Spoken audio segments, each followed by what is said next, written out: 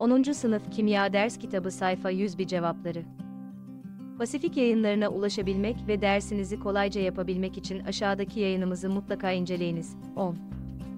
Sınıf Kimya Pasifik Yayınları Ders Kitabı Cevapları Sayfa 101 tartışma karayollarında ve taşıtlarda buzlanmaya karşı alınan önlemler konu anlatımında belirtilmiştir.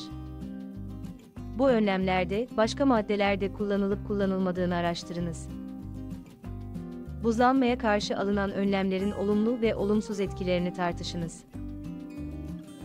Tartışmalarda, özellikle sınıf içi tartışmalarda, karşınızdakini dikkatle dinlediğinizde ve görgü kurallarına uygun davrandığınızda tartışmanın daha verimli olduğunu biliyorsunuz. Aşağıda bir grup öğrencinin sınıf içi bu tür bir verimli tartışma sonucunda buzlanmaya karşı alınan önlemlerin olumlu ve olumsuz etkileri ve olumsuz etkilere karşı yapılabilecekler ile ilgili ulaştıkları sonuçlar yer almaktadır. Bunları okuyunuz. Siz bu sonuçlara katılıyor musunuz? Neden? Sizin tartışmanızın sonuçlarından farklılıkları nelerdir? Bir sınıftaki öğrencilerin karayollarında ve taşıtlarda buzlanmaya karşı alınan önlemlerle ilgili tartışma sonucu ortaya attıkları düşünceler, olumlu etkileri. Araç motorlarının sıcak ve soğuktan korunmasını sağlar.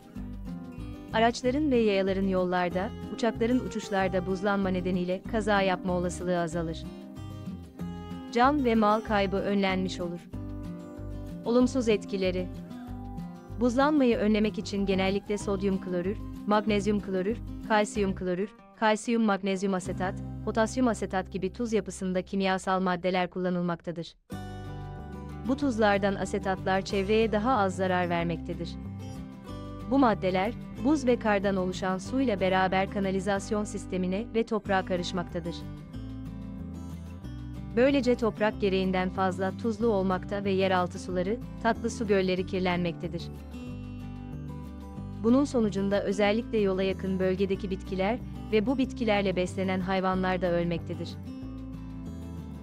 Tatlı su göllerindeki canlıların yaşamı etkilenmektedir. Ayrıca küçük kuşlar, tuz kristallerini kum ile karıştırmakta ve yutabilmektedir. Bu durum kuşların ölümlerine neden olabilmektedir. Tuzlu su, araçların kaporta aksamının, köprülerin metal aksamlarının daha çabuk paslanmasına ve asfaltta tahribata neden olmaktadır. Neler yapılabilir? Buzlanmayı önlemede kullanılan kimyasal maddeler azaltılmalı. Çevreye az zararlı kalsiyum, magnezyum, asetat gibi maddeler ile zarar vermeyen kum, tarımsal ürünler, örneğin pancar suyu kullanılmalıdır. Karlı ve buzlu günlerde toplu taşıma araçları, özellikle raylı sistemler tercih edilmelidir. Türk bilim insanı Seda Kızılel'in katıldığı kendi kendine buz oluşumunu geciktiren yol kaplama malzemesi geliştirme projeleri gibi projeler desteklenmelidir. Cevap, deney sonucunda elde ettiğiniz gözlem sonuçlarınızı yazınız. 10. Sınıf Pasifik Yayınları Kimya Ders Kitabı Sayfa 101 Cevabı ile ilgili aşağıda bulunan emojileri kullanarak duygularınızı belirtebilir, aynı zamanda sosyal medyada paylaşarak bizlere katkıda bulunabilirsiniz.